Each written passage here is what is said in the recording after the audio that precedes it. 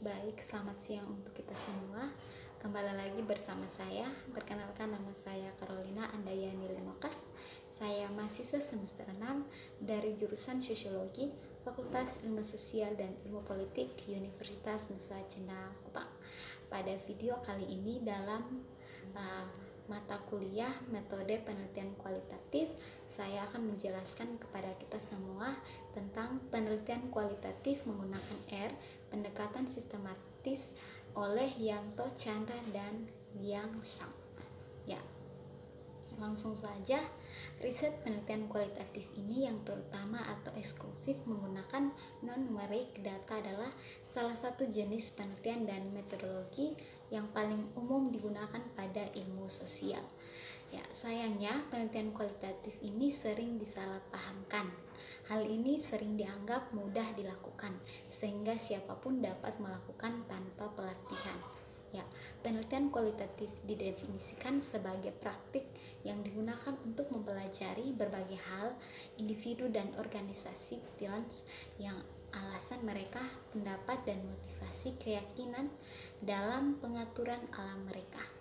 Ini juga melibatkan pengamat yang berkedudukan di lapangan yang mengubah dunia menjadi rangkaian perwakilan sensasi seperti catatan lapangan, wawancara, percakapan, foto, rekaman, serta memo.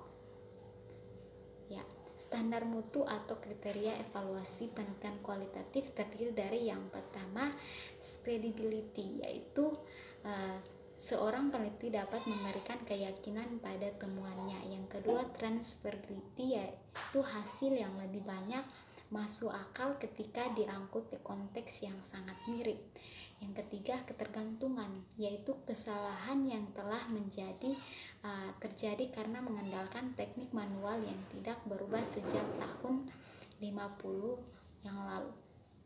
Ya, karakteristik penelitian kualitatif adalah yang mencakup berbagai aliran pemikiran.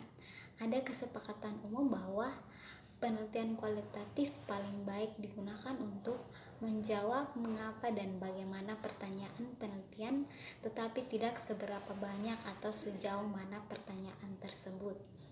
Ya, yang berikut penelitian telah menggunakan CAGDAS atau CEGDES untuk melakukan penelitian di berbagai bidang termasuk psikologi, sosiologi, manajemen, dan ilmu politik hingga ilmu kesehatan. Alat-alat ini secara otomatis uh, memplot tubuh dari data tekstual, uh, tekstual dianalisis dengan program perangkat lunak untuk menghasilkan keluaran kualitatif dengan sedikit atau tanpa masukan peneliti sebagai uh, sebaliknya penelitian kualitatif berbasis CEGDES membutuhkan masukan peneliti dalam hal memberi makna dan pengkodean suatu uh, tubuh tekstual data. Ya. Di bawah ini adalah beberapa alasan penting untuk menggunakan perangkat lunak CEGDES secara kualitatif penelitian. Nah, penelitian tersebut yaitu yang pertama ini meningkatkan transparansi dan oleh karena itu dapat dipercaya dari suatu penelitian kualitatif melalui keluaran kode yang terlihat dan dapat dibagikan. Yang kedua, meningkatkan efisiensi proses pengkodean, pembuatan dan pelabelan kode, mengubah, memberi label ulang, menghapus kode dan dalam membandingkan kode. Ya, yang berikut ini memungkinkan pengkodean yang lebih halus atau pengkodean baris demi baris. Yang berikut ini mendukung tingkat analisis yang lebih dalam daripada yang dimungkinkan dengan pengkodean manual. Yang berikut ini memfasilitasi pengkodean ke berbagai kategori dan eksplorasi data yang lebih dalam. Yang terakhir, ini juga memungkinkan peneliti untuk memeriksa konsistensi pengkodean. Ya, yang berikutnya, langkah-langkah dalam melakukan kualitatif berbasis cerdas penelitian. Yang pertama, mengartikulasikan pertanyaan penelitian di mana sebagai pendekatan praktik terbaik untuk melakukan penelitian, seseorang harus memulai studi kualitatif dengan bertanya-tanya dan membuat pertanyaan penelitian yang jelas, berguna dan juga bermakna. Ya. Yang kedua, melakukan tinjauan pustaka. Proses menem, uh, dalam menemukan, mempertajam, dan membingkai pertanyaan penelitian sering kali melibatkan tinjauan pustaka awal dari suatu topik atau bidang uh, minat penelitian. Yang berikut ketiga, memilih sampel. Keputusan pengambilan sampel tergantung pada aksesibilitas kasus yang diminati. Yang keempat, menyusun protokol wawancara. Sebagai peneliti memasuki lapangan dalam melakukan wawancara, mereka sering membingkai ulang atau menyempurnakan pertanyaan dalam protokol wawancara. Fokus juga berlangsung pada pertanyaan mereka dan karena mempertajam temuan mereka.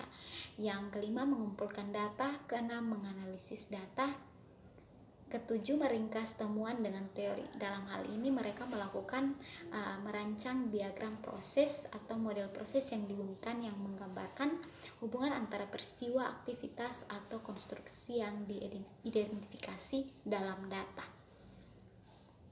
Ya, dalam buku ini juga uh, mereka menguraikan dan membahas berbagai paradigma dominan dalam penelitian kualitatif Gioia Ain Elisendrat dan pendekatan Langley dan mendemonstrasikan kemampuan perangkat lunak penelitian kualitatif uh, juga berbantuan komputer khususnya RQDA untuk memperluas dan memperkaya pendekatan Gioia.